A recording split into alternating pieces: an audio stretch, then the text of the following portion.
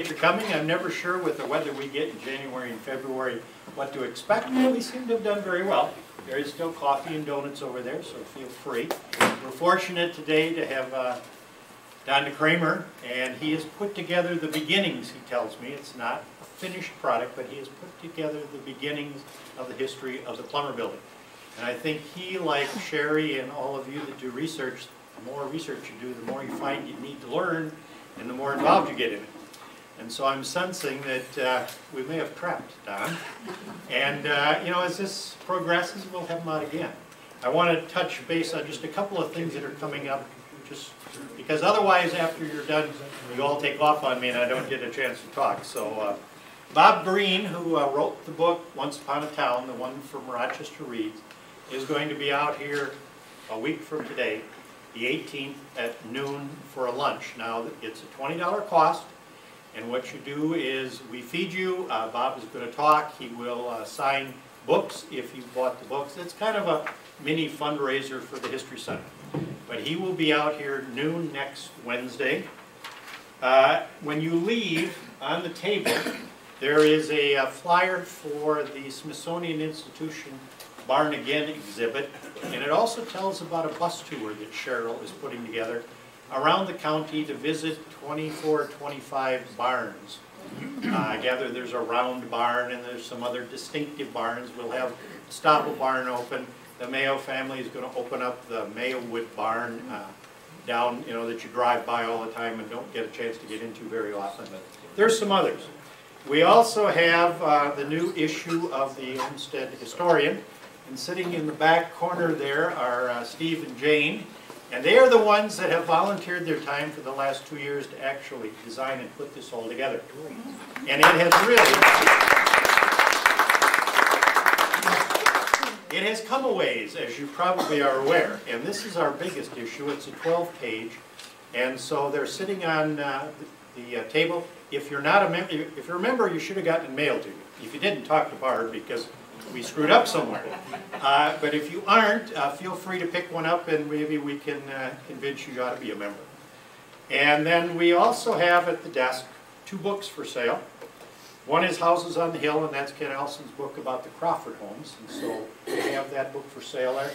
And uh, Ken has given us all of the proceeds to the History Center. So uh, it's just a straight uh, fundraiser, if you will, for the History Center. And next month, Harley, as you're probably aware, finished, finally got his book published. We have copies of the book. And he is very excited, as only Harley can be excited. But he will be here next month for the Princess Cafe. So the second Wednesday of March, now I can't remember what the date of that is, but he will be here. And he will, of course, be uh, talking about his book and being Harley and signing it. So, and we have these for sale at the, at the desk. So uh, if you're interested, Barb's got them there. So that being said, yes? Can I make a quick plug?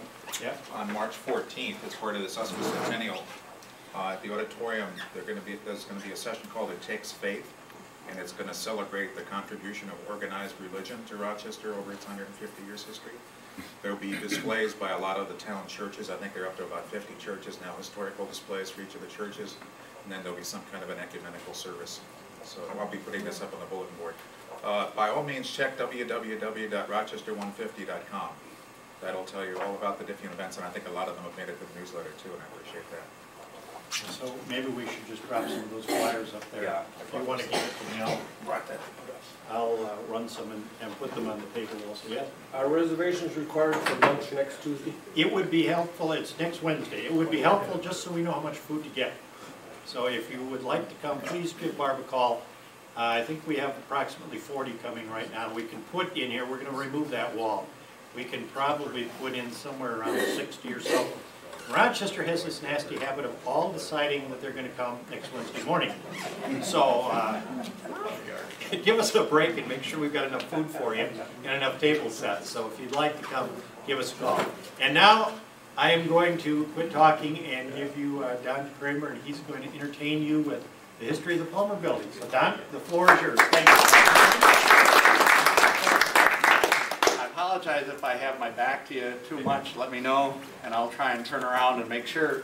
Can everybody hear okay? If I, if I just talk like this, I'll, I'll, no? I'll try and make sure I turn around and let you know. Okay. Uh, Much of it, uh, of of the interest will be, of course, the pictures. I've got uh, well over 100 pictures of the building. Um, But uh, I- today, uh, I I just want to share with you kind of the history of that building. It's been an intriguing uh, uh, project for me. Um, uh, As as John said, uh, my is Don DeCramer. I'm an electrical engineer uh, by training. And uh, uh, the first portion of my professional career, I worked for Ellerbe Architects, who is the uh, designing firm for this building and and many uh, clinic buildings. Uh, And and it was during that early uh, part of my career that I did a lot of work in Rochester with Mayo and became intrigued with Mayo and the buildings and and of course the history and and of course this beautiful building especially. Um, uh, In 1986, I joined Mayo on their facilities staff, and, and I'm uh, uh, now a senior project manager and also part of the management team for the facilities uh, area at the clinic. Uh, Today, today we'll just cover the, kind of the the origin and the history of the building, kind of how it was constructed, but as many, uh, uh, as many of you observe, it's, it's gorgeous architectural structure. And so I want to kind of point out some of the architectural uh, attributes and, and the artistry of the building through, uh, through the photos and, and some of the the original sketches uh, for the design of the building also. Uh, Also, some of the details that, that you may not get close to being able to see. And so we've tried to photograph those and, and bring those out to you. And then I'll conclude a little bit with uh, what uh, Mayo is doing to preserve uh, this beautiful uh, structure. So with that, I apologize, I'll occasionally refer to my notes. I've got a lot of notes here because it's got a lot of the interesting stories about it. Uh, The Plummer Building, uh, or some of us even call it the 1928 building, was uh, for many years known just as Mayo Clinic Building until 1954. And that's when it was officially uh, named uh, after Dr. Plummer, who is the uh, uh, instrument, uh, instrumental physician in the creation of the building. Um, And so, but to, but to really know about the history of this building, we've got to go back a few years before that, to 1920 timeframe. Uh, 1920 was six years after the completion of the uh, first Mayo Clinic building, the 14 building as we often call it. And uh, uh, interestingly enough, after the uh, six years of occupying that building, space was already a premium. And this, is- those of us that work in facilities recognize that this is a a perpetual problem. We, uh, uh, the clinic has a propensity to continue to grow, and we never quite build them big enough, I guess. Um, Anyway, the space was at a premium, and so they began uh, to expand out of this building into the nearby Zumbro Hotel. And at that time, uh, to, to make it convenient for the staff and the physicians, they built a bridge to connect from the uh, Zumbro Hotel to the uh, uh, 14 building, thus the first Skyway in the city of Rochester. Um, uh, Also at that time, uh, because of the growth of the clinic, it was necessary to begin to migrate back to some of the previous buildings that they occupied. So the, the practice that was closely integrated in the uh, 1914 building uh, started to dilute and as they uh, uh, expanded into other areas. It was in 1925 that the crowding of the, uh, uh, this 1914 building was so significant that the decision was made uh, to uh, invest a major new structure. Uh, Prior to planning the new building, however, they needed to address, uh, there were about 15 different uh, plants that provided heating uh, for the buildings and, and generated electricity for some of the uh, buildings in the downtown area that served both the Mayo Clinic and the Kahler Hotel.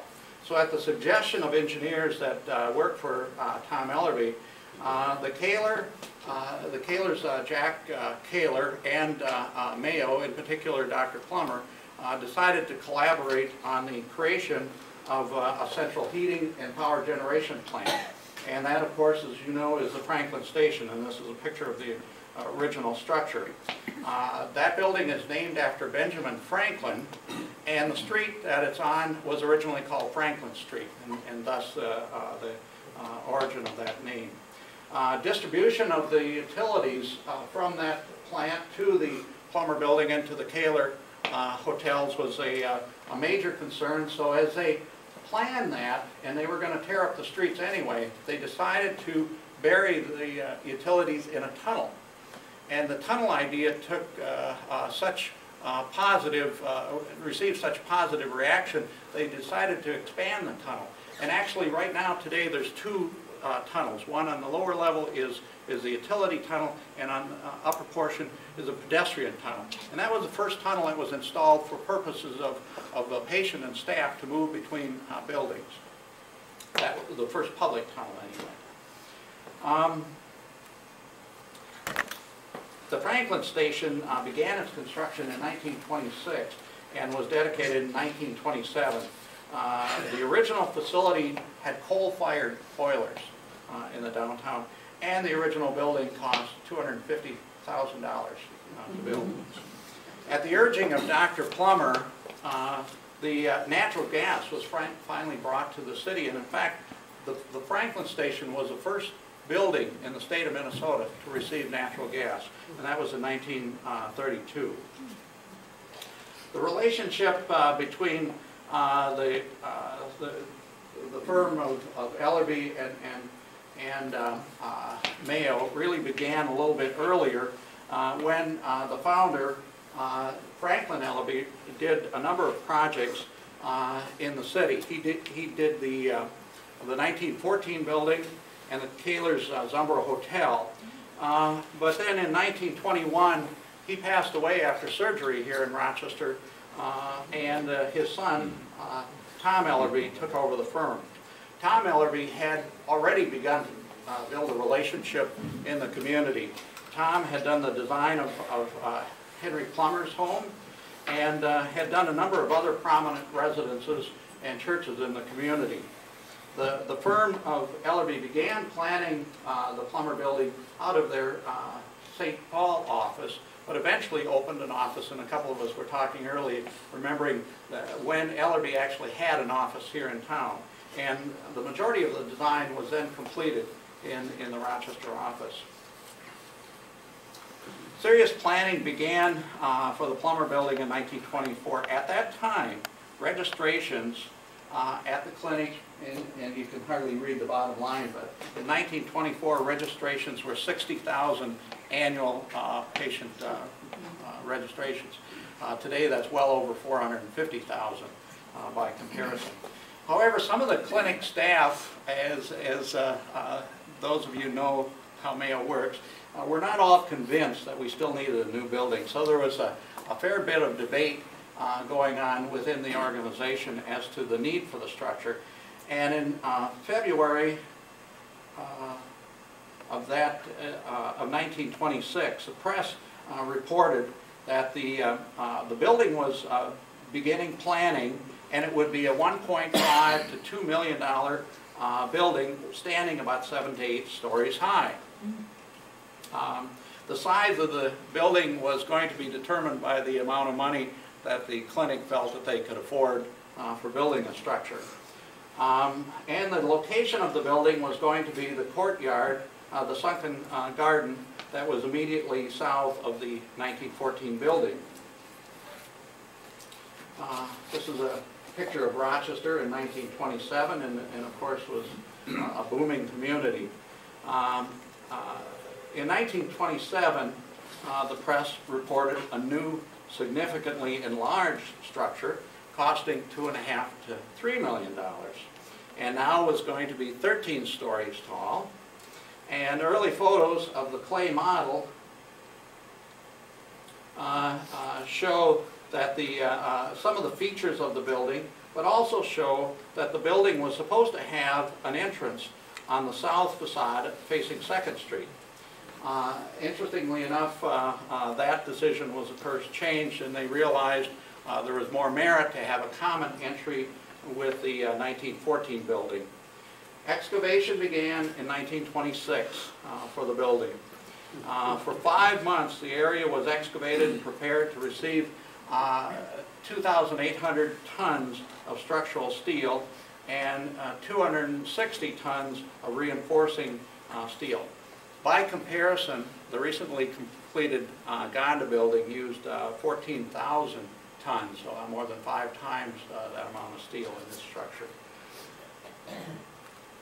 During the, the steel assembly, people um, heard very little noise from the construction because the building was built with bolted connections instead of riveted. Uh, Riveted uh, connections were the standard of the day, but they didn't want to add more uh, noise to the downtown area. Uh, Steel riggers uh, uh, uh, came from St. Paul and were headed by uh, a gentleman named Ernie uh, uh, uh, who's a Scandinavian. He took great pride in his uh, vocation uh, and what he had learned from building structures such as the uh, cathedral in St. Paul. Uh, Increasingly, the uh, steel riggers on the project were, uh, interestingly enough, uh, the steel riggers were paid about a dollar an hour because of the risky work, working on this building. Uh, The riggers noted uh, uh, special problems with working on the building through the wintertime, trying to keep warm because of the, the winds and the cold weather in Minnesota. After the skeleton uh, was, was raised, the girders were encased with concrete and, uh, and the floors were poured with uh, reinforced uh, steel. Uh, The outer walls of the building were covered with a layer of Bedford limestone from Indiana. And the, the base of the uh, structure is Cold Springs gran- granite from, from Minnesota.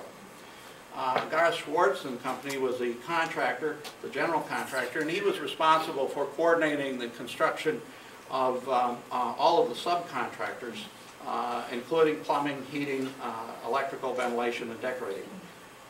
The upper walls of the building were constructed, oops, I'm going to go back, were constructed with uh, 2,714,000 bricks, including 700,000 face bricks, or the, the exterior of the building, which came from Pennsylvania. Uh, Those 700,000 face bricks were manufactured uh, using the finest ore clay, which is mined uh, similar to coal in Pennsylvania. The majority of the bricks uh, were were obtained through Chaska Brick Company out of Chaska, Minnesota. Uh, 14,000 of the bricks were specially constructed to create the ornamental corners of the building that are laid uh, in such a way to represent a a spiral twist of rope. Between 1924 and 1927, Dr. Plummer and the architects collaborated on uh, designing a myriad of details uh, that would produce uh, not only a functional, but an aesthetic uh, building with a lot of, a lot of uh, uh, details. There are two important considerations that they uh, placed uh, on the building design, and that was to first analyze and learn from the experiences of building the 1914 building, and secondly, to increase the uh, uh, emphasis on the aesthetics of the structure. Um, I'll go through a series of, of, of pictures that show, so these are some of the original sketches made by the Ellerbe uh, architect staff uh, for the uh, creation of the uh, building. And then some of the features that it really turned into. And if you look at some of these, sometimes you can find a date, and they date, they do date anywhere from 1924, some of the earliest sketches, uh, to uh, uh, the 26. So it was interesting, they were trying to create some of these details while they were uh, still building the, uh, uh, the original structure. And there's some of the carving details that are used in one of the doors, and that's the door where that uh, occurs, and that's up on the 14th floor of the uh, building. Uh, Some of the handrail sketches, and of course, there's the, the the detail of what the final product is. Just, just even the uh, artistry of the drawings themselves were were amazing.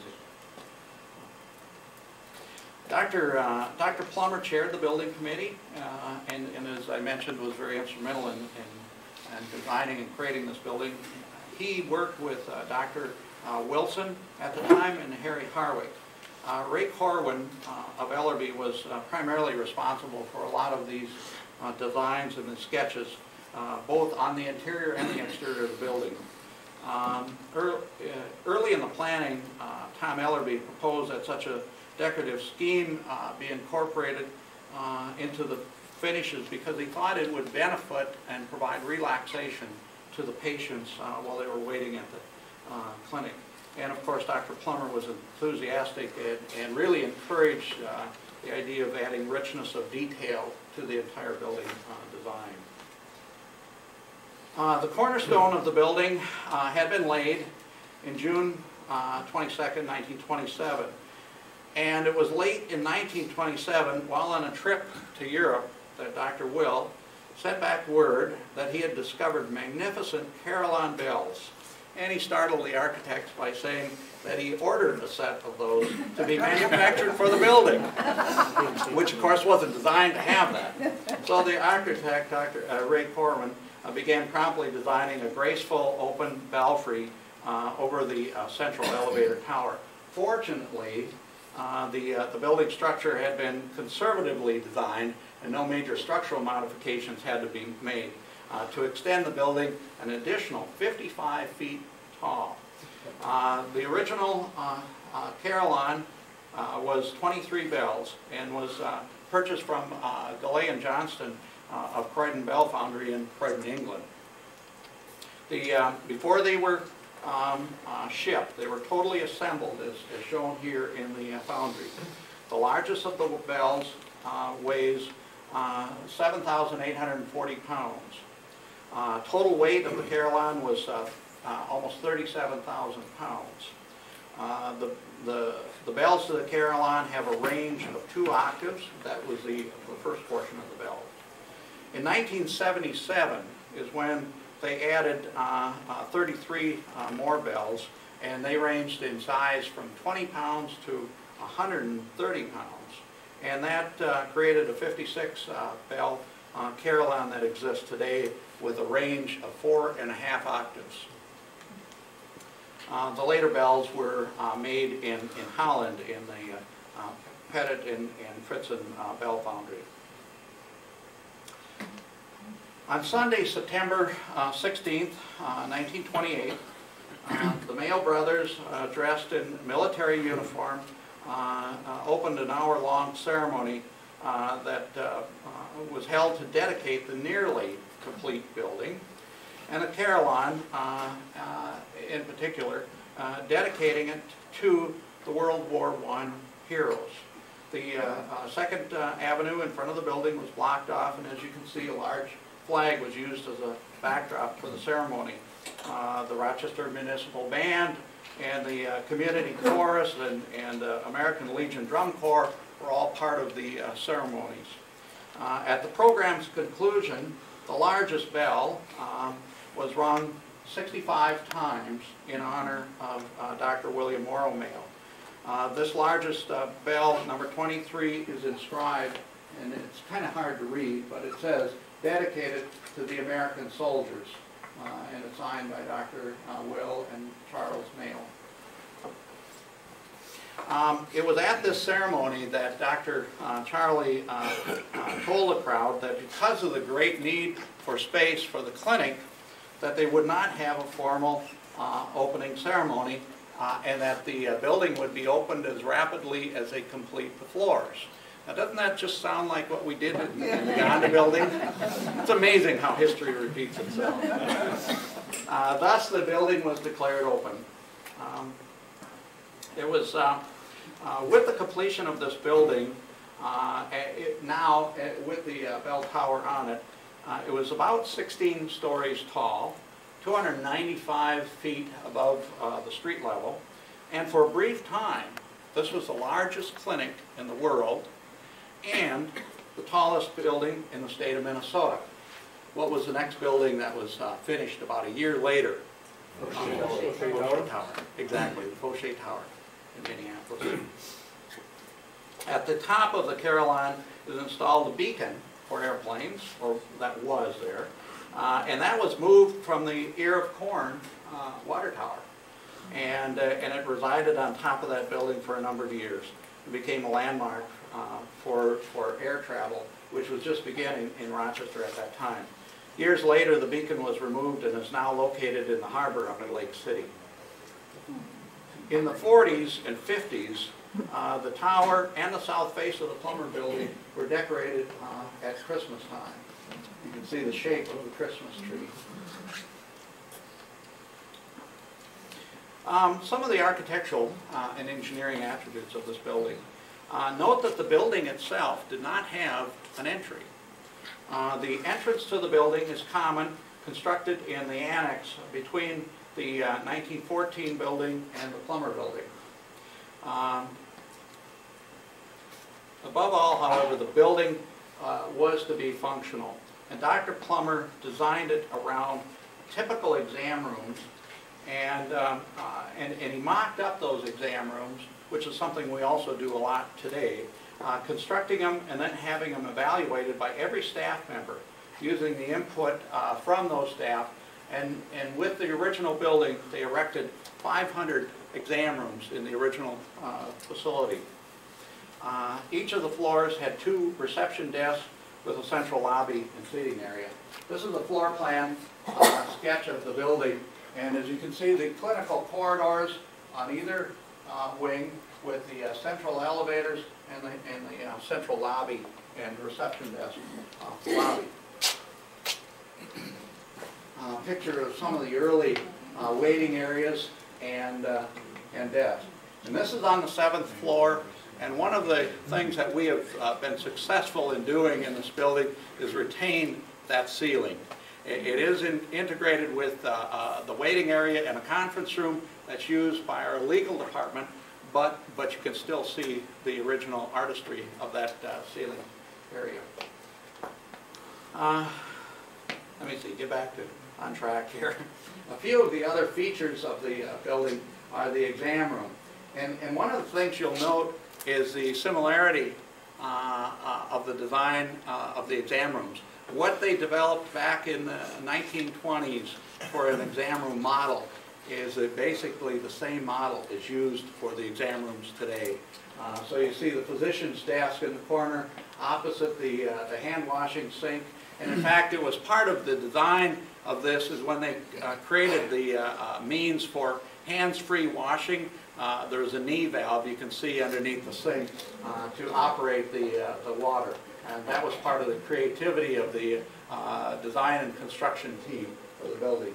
Can Uh, excuse me, on that other slide, could you comment on the uh, ventilation system with the two grills?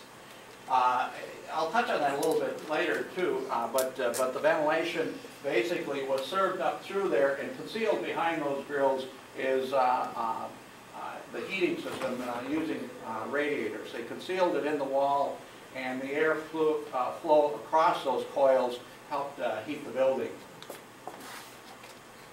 You also see the exam table and some of the instruments, of course, they're a little earlier vintage, uh, and the, uh, uh, the dressing cubicle behind the door. Again, these are standard uh, details that we employ in our exam room design still today. Um, Transportation was another hallmark of the building design. Uh, There were five high-speed, at the time, elevators installed in the building. At that time, they were believed to be one of the, uh, uh, the most state-of-the-art installations of elevator equipment uh, in the country. And uh, a total of $125,000 was spent on the uh, installation of those original elevators. So, laser. Uh, The entry to the elevators was, uh, uh, was constructed of bronze, and uh, the bronze doors uh, were highly ornamental. Uh, The cabs were ventilated, which was uh, unique in its time, and the sidewalls were padded with leather. leather. It was said that Dr. Plummer went to uh, the downtown of uh, major cities, and, and just to observe the flow and movement of people and see where best to place elevators in the building uh, as part of the the uh, planning. Uh, The engineering uh, genius of of Dr. Plummer uh, not only reflected in in the creation of the um, single medical record for patients, but also in the transportation system to get those records to each of the floors. You can see here is some of those transportation systems. This is part of the original conveyor system. Uh, This would be the uh, control desk where the histories were kept on the uh, uh, first floor of the building. Uh, And, and then behind that is a pneumatic uh, tube system. Um, Working with Mr. George Graspy of Lamson, Dr. Plummer devised a scheme to lift, with vertical lift, uh, to bring the histories up through the building, and included with the system was a device to kick the histories out on the respective floor that, uh, that they had to be uh, delivered to.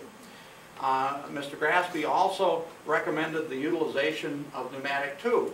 And it was at that time that the tube system was constructed uh, from the Plummer Building to St. Mary's Hospital, uh, encased in a uh, a waterproof conduits and operated with compressed air. The tube is a one-mile distance from, from uh, downtown to St. Mary's. Also uh, of high priority was communications. And it's one of the first buildings in, uh, to incorporate a sophisticated telephone system that could uh, dial up and call each of the rooms. Uh, Also, if you walk through the clinic building, you noticed uh, outside the exam rooms, the colored lights. That was designed and created initially as part of this building also.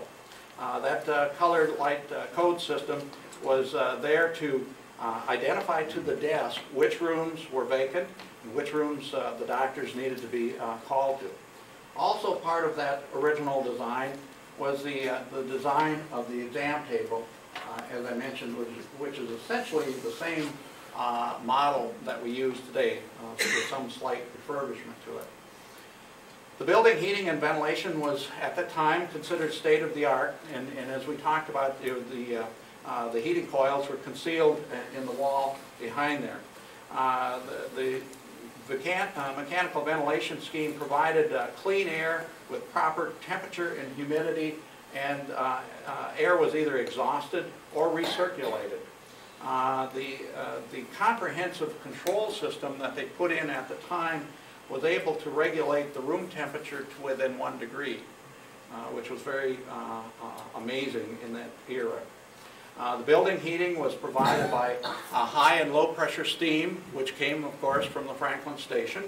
Uh, And the cooling was accomplished in those days by cold water using an air wash system that would flow cold water across the, the ventilation system. Uh, Now let's take a look at some of the more spectacular spaces in the building. Uh, This is a sketch of, uh, original sketch of, of the Assembly uh, Hall, or Plummer Hall, as it was originally uh, named. Uh, It has a parquet floor, and, and the, the wood finishes are intended to resemble an English library, using imported English oak for the creation of that. And of course, the ceiling uh, had the beautiful ornamental uh, plaster uh, cast ceiling. Uh, The original facility was equipped with state-of-the-art projection, motion projection equipment uh, in it. The room wa- was also fit out with a a very large fireplace, which at one point was used. And this is a picture of the, uh, the space today. Uh, So you can see we've uh, tried to retain uh, the beauty of, of that space. Excuse me, sir, what floor is that on? This is on the 14th floor. On the fourteenth also? So if you, uh, if you go up uh, into the Plummer Building someday, just go all the way up, and you can see this space. It is open. Some of the other spaces that were created as part of the design of the original boardroom, and some of the board members at, in that era. Uh, And then uh, also on the 14th floor was the, uh, the design of the entire entry uh, to that uh, assembly hall, which was also a gorgeous space. Uh, And, and that's what the space is uh, still today. With the decorative wood ceiling to complement the, the English oak that was used in the adjacent assembly hall. One of the other uh, interesting spaces is the library, which is in the 12th floor of the building. And uh, when that was constructed, uh, uh, first of all, I- I'd like to have you note uh, somewhat the austere uh, finishes of the original building, and on a later slide, how they upgraded the, the finish of the space. But with the construction of that, they put in a wood ceiling with the beams engraved to uh, list the names of of famous individuals in science and medicine. And then you can see a few years later, the uh, uh, installation of carpet uh, into the space. And also noticed above the uh, archway going into the, uh, uh, the- the book area was when they added, this is in about the mid-thirties, is when they added the carpet and did some of the painting above the archway. What's that represent? Uh, You know, it's, it's a lot of uh, times, there's just a lot of symbology that didn't have any specific objective, but I think uh, just knowledge uh, is uh, uh, uh, the lantern. The most effective expressions of the artistry of the building are found in the beautiful bronze doors that are at the entry.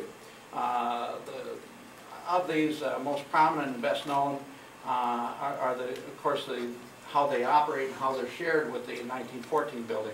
These doors weigh 4,000 pounds and are of a Moorish design. They're five and a half inches uh, thick and uh, uh, 16 feet uh, high. The original doors cost $12,000 to fabricate. Uh, They were fabricated by Flour City Ornamental, which is a company that still exists in St. Paul today. Uh, And the design of the doors uh, uh, follows a Romanesque design. And Flour City employed a sculptor, Carlos Brioschi, who created the, the model designs for the doors. Both sides of the doors depict Minnesota life in alternating squares. There are six um, uh, panel designs that are repeated to make 22 panels. And then there are two of the uh, uh, designs that are repeated uh, 20 times for a total of 42. Uh, The the symbology of these is is interesting in that they they uh, represent the themes of education, domestic arts or maternity, uh, mechanical arts, fine arts, sciences, and agriculture. So they were trying to really depict this era and, and the uh, uh, uh, area in which uh, uh, the the clinic practice. Question? And here's some closer detail of those. Uh, This one would be identifying the mechanical arts, and of course, uh, uh, maternity or domestic arts, and agriculture. And then we have the, uh, the two uh, repeated designs, which are uh, more of a floral design with a center medallion, one with a turkey and the other with the- American Indian. The doors were originally designed to close, and of course, as we know that that doesn't happen, but they were originally designed to close every day. Uh, And they were uh, fed up with an electrically operated uh, motor to, uh, to close them, and they could be operated from either inside or outside of the building. However, shortly after the installation, the electric uh, motor uh, drive uh, failed, and uh, because of the significant weight, uh, they no longer uh, close the doors. Uh, The doors are now used and and closed only uh, as part of a ceremonial uh, recognition for the passing of presidents or prominent individuals. Yes, Question, you said four thousand pounds, is that each or? each, each was 4,000 they're pounds. two tons each? Yeah. Huge. Could it be opened manually very easily? The- uh, They they are opened and closed manually, not very easily, but they are opened and closed manually. They were closed uh, uh, first in in 1936 with the uh, death of Dr. Henry Plummer, and then in 1939 for the death of both uh, Dr. uh, Charles uh, Mayo and Dr. William uh, Mayo. uh, 1963 for the death of uh, Dr. Donald Balfour, and also the death of President uh, John F. Kennedy in 63. Uh, Again, they were closed in 1968 for Dr. uh, Charles W. Mayo, and in 1978 for the death of Harry Harwick, who was, of course, the administrator for many years at Mayo. Uh, The most recent closing of the doors was uh, September 14, 2001, uh, when they were closed as part of a memorial cer- ceremony held at Mayo for, uh, in memory of those who died uh, on September 11th uh, at the attack of the World Trade Center in the Pentagon. Um, The horizontal members above the doors uh, uh, called rails and the vertical uh, members called stiles are highly ornamental and have inserts of microscopes, scales, human figures, pelicans, gophers, rabbits, squirrels, and beehives. So again, very much trying to uh, relate to uh, this part of the, uh, uh, of the, uh, the U.S. The glazed uh, inner doors, as you can see here, are liberally sprinkled with griffins and dragons and human figures, all symbolic of vigilance, is what they were trying to do. The uh, uh, stone spiral and basket weave columns and the, and and the moldings uh, that form uh, the the door, and, uh, and and also there's a lunette uh, uh, design that was uh, sculpted above the door, as you can see here. The lunette contains two groups. The one on the left represents medical science, and the and the grouping on the right represents medical care. I know they're a little difficult to see, but if you go out there someday, uh, just, just stand close and, and look at the beauty of the creation of those. Uh, It's just amazing. Uh, The, uh, uh, this uh, uh, design was created by a St. Paul sculptor also uh, named Kirshner. Uh, The keystone above the, uh, the door is a, uh, a carved bust, a figure of truth symbolized uh, by the two torches held aloft. Um, On the facade, uh, uh, above the, uh, the doors are, are, are a variety of other sculptures, including a couple, uh, a stone medallion representing the arts of nursing care. All of these designs were created, all of these uh, designs were created out of the uh, uh, Ellerbe uh, office. Would something like that be carved or molded? Uh, That would be carved out of stone. This was all carved out of stone. Uh, The Romanesque style of- of of the Plummer building is is clear in the columns and arches above the door, but uh, also, in particular, is the uh, uh, kind of the liberal spr- sprinkling of uh, theological and uh, allegorical uh, or symbolic uh, themes throughout the uh, the building. And these were all carved out of the Bedford limestone. Um, They they reflect some of Dr. Plummer's love for art, literature, music, horticulture, uh, and focus on a variety of objects uh, related to America uh, and Minnesota, and and Rochester in particular.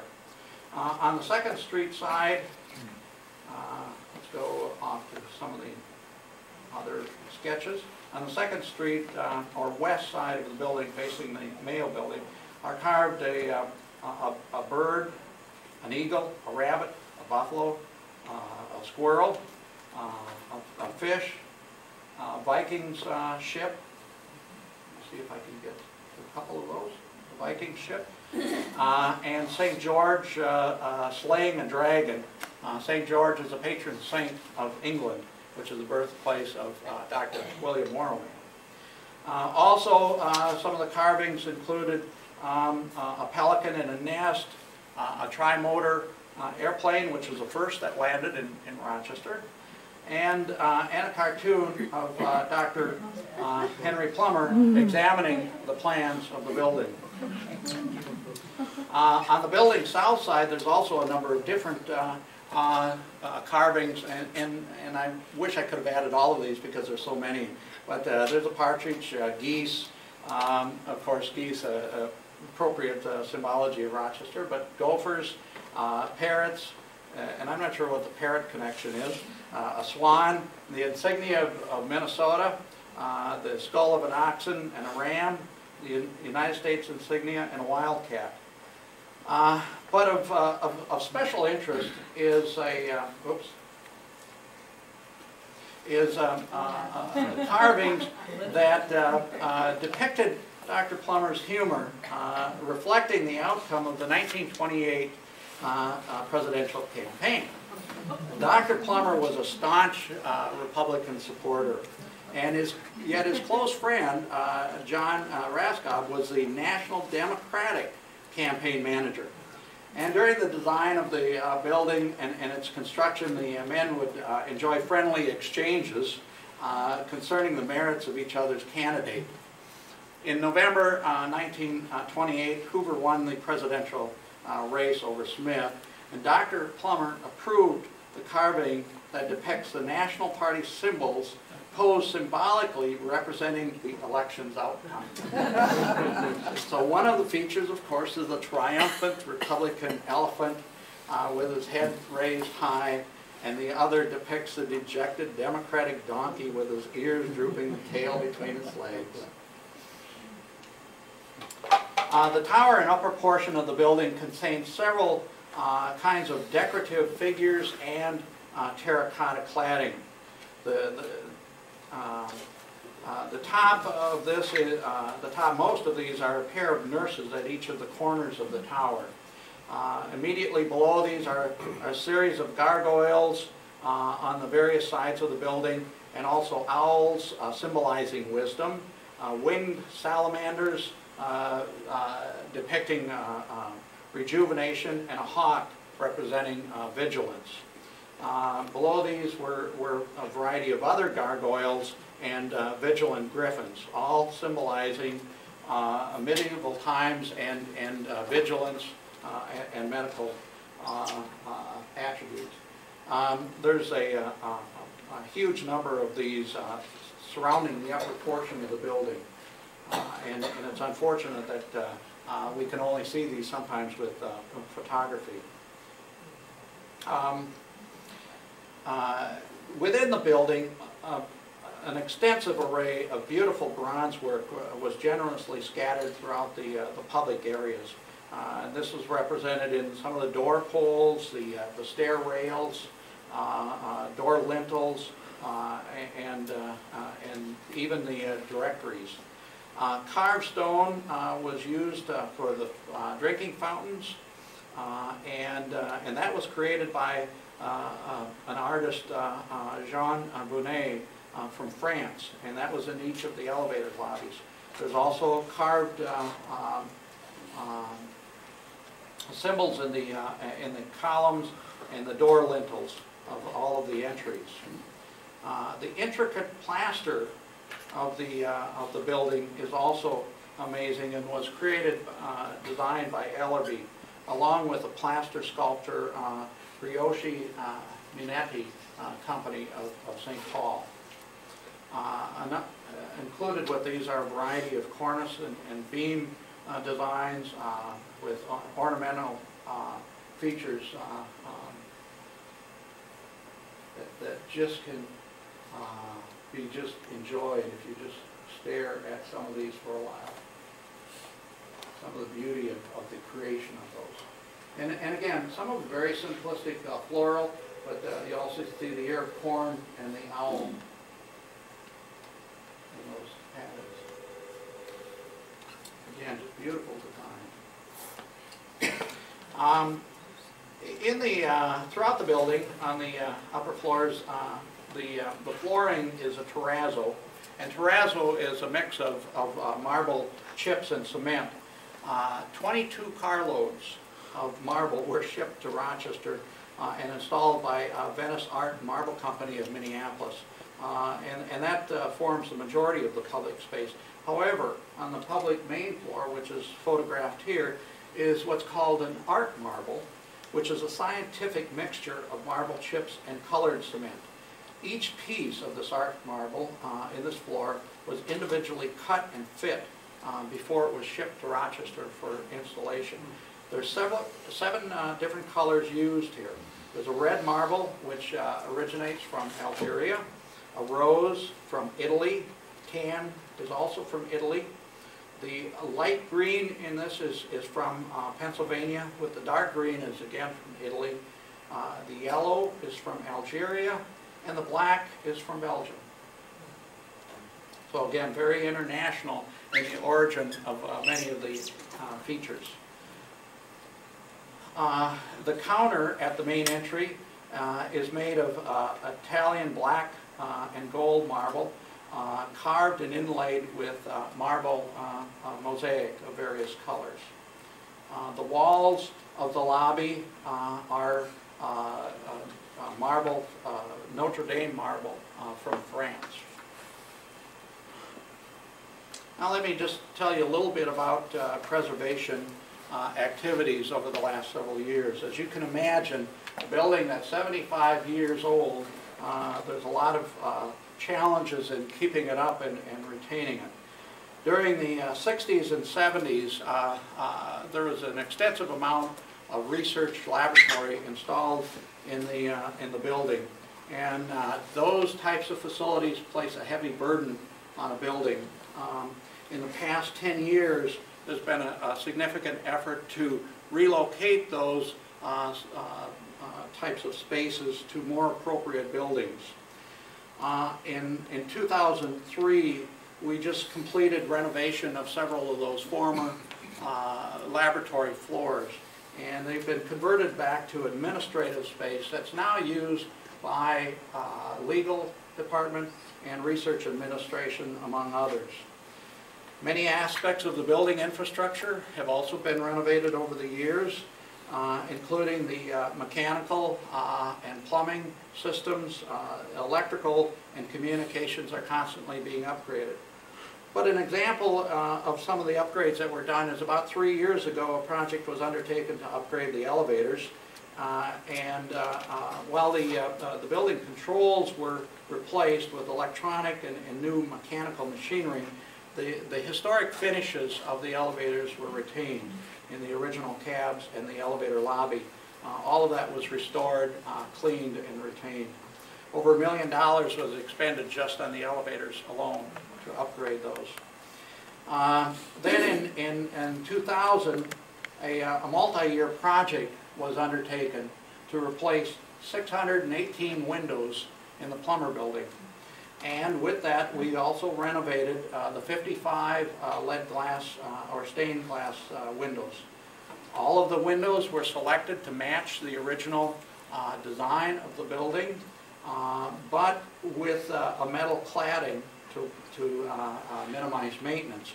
This allowed us to finally remove um, some storm windows which had been installed for many years over those original windows. Uh, And also uh, allowed us to remove some of the UV protection that had been applied over the stained glass. So it improves the visibility. So I hope you take the chance to take a look at the building and even go up in there and, and see some of it. Uh, uh, We spent about a million and a half dollars just replacing and uh, repairing windows in that building. Um, Although uh, periodic design, repair was done to the exterior of the building, a study in, in 2001 uh, identified a significant failure of some of the brick, and in particular, some of the, uh, uh, the brick roping of the building. As a result, we had to apply some temporary uh, uh, closures on that building uh, to protect it so it didn't totally fail. So we are now in the midst of a four-year project to renovate and and replace the, uh, uh, repair the exterior of the building. And that will include a replacement of of uh, 327, uh, oops, uh, 327, or about 5% of the terracotta pieces that have broken on the building. Those are being specially molded, and and they're created by Boston Valley Terracotta, uh, one of only two companies that does terracotta work in the US anymore. You know why they failed? Uh, Was it Moisture, this- Moisture. moisture Not is, settling. no, no, no movement of the building. The building structure is, is very solid. But uh, over time, Uh, Terracotta is, of course, a glazed uh, tile uh, product, man-made product. And If moisture gets into the product, uh, it- it'll start to crack. Also, we had a few cases with, uh, uh, with some of the pieces uh, missing, uh, or, or uh, uh, as, as is the case of uh, Tula on the uh, uh, perimeter parapet. By uh, 2005, we will have spent about $3 million, which is the cost of the original building, just to fix the exterior of the building. Oops. Excuse me, has anybody ever estimated what it would cost to build that building today from scratch? I don't think we've gone at all. No, seriously, I don't know if anybody I has. mean, I don't, I don't think you could do it. I just, I, I recall, I showed, uh, someone who runs a huge international construction company through the building, um, about ten years ago. And it was through the whole building and he was looking at it all and he's talking about how magnificent it was. And he said, you know, we could never build this today. And I said, oh, you could, I bet you could build this. And he said, no, I could not. I could build a, a very grand building, but I could never do this because there are not the, um, it's like you said, there are only two firms that do this. He said there aren't the people who do this kind of building, and, um, it would be very hard to get over, out The, the- that's part of the, the uniqueness of the building, the artistry that went into it. And, and much of it was local, although uh, in those days, many of those uh, local workers were immigrants uh, from, from Italy or other countries. But the artistry of just creating some of the plaster moldings, we've saved a lot of moldings, and we've had to create for even for this uh, uh, terracotta that we're replacing, we're creating new molds uh, to be able to rebuild those. And of course, we'll save those molds, but to try and to recreate some of those, it's just a very unique art. And, and so I guess um, really this concludes the, the, the formal part of the presentation. And I guess I just want to thank you for sharing uh, uh, with me this, uh, this beautiful building. And, and it's our hopes and expectations uh, in Mayo that, that we'll have this building for at least another 75 years, if not more. So, yeah. I, I have a concern about it being hemmed in. We've already lost pretty much the view from the west because of the new Gonda building. The, let's see, there's another one, the Charlton Building to the north. There's the Kahler Hotel on the east side. You- As you're coming into town, you can only see it clearly. But from especially when you go back and you look at photos like this. and Yeah, I know. Back in, the thirties, when, when it was the only building in, in, in the area. Are, are there any considerations for keeping at least one view of the building? I mean, there's always construction with Mayo Clinic, and I can see it being framed in by all these Actually, in, in my opinion, I think we, we just recently accomplished it, and I wish you'd uh, go in the Gonda building. Uh, As part of the design of that building, we tried to bring in exterior light into the patient waiting area. And, and that uh, created a, a very unique footprint, but also made a transition from the Mayo building to the Gonda building of a wave uh, glass wall. Uh, If you go up into that casual area just outside of the, uh, the, uh, uh, the- the- the elevators, you go up in the Gonda building, you have one of the best views of this building. And in fact, one of the occupant groups that I worked with on the, on the Gonda building is the cancer treatment unit, and they're up on the 10th floor, and they face the direction of, of the Plummer building. A a gorgeous, gorgeous view of this building. It, it actually added back in, and you're right, you know, with the tall structures from the highway, you can't see the building as well. But uh, from within the city, I think we've added back in the opportunity to see the uniqueness. The design of the Siebens building, if you notice, was stepped back purposely to, to uh, retain view of that, uh, of that north face uh, of the building. Uh, And, and of course, it's interesting, even our medical staff has said, until the Mayo Building uh, was uh, raised to its last extension up to the 19th floor, were they able to finally see out the windows the, the beauty of that building. So the downside is, yes, that building obstructed the view. The, the plus side is somebody now get, get close enough to look out the window and see it. Yes. Do we have any documentation uh, from Plummer or the uh, Mayos as to why they thought it was necessary to build such an ornate building in a relatively conservative environment of the Midwest?